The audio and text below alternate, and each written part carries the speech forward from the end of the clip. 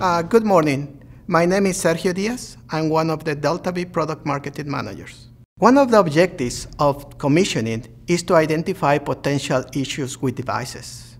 Before starting production, each field device needs to be verified and confirmed that it's working as expected, that the temperature, pressure, flow measurements are properly reported to the control system.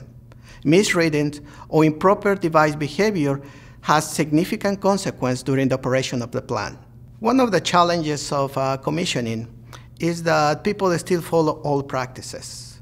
Uh, the technology has evolved, but people still follow the same old methods to do loop checks. You still have two persons in the field, you're still communicating through walkie-talkies, you're still doing a lot of things that are not efficient and doesn't take advantage of the new functionality of the system. Emerson has identified best practices for commissioning and automated the whole workflow starting from device identification, verification that the device is connected to the right uh, control strategy, device configuration via bulk uh, transfer, and loop checks, and even documentation.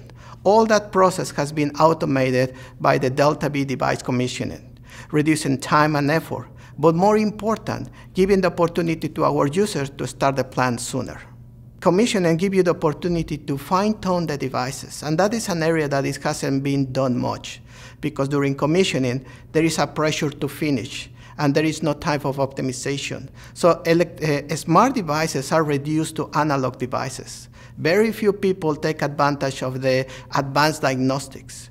With a DeltaV device commissioner, we give you the opportunity to fine-tune those devices so they are not only work uh, as intended, but also deliver all the benefits of advanced instrumentation.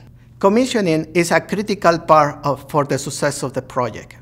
We create DeltaV device commissioner to streamline the commissioning process and give you the opportunity to start up sooner. If you have questions about how to use this technology in your next project, I will invite you to put your questions and also your comments in the 365 community.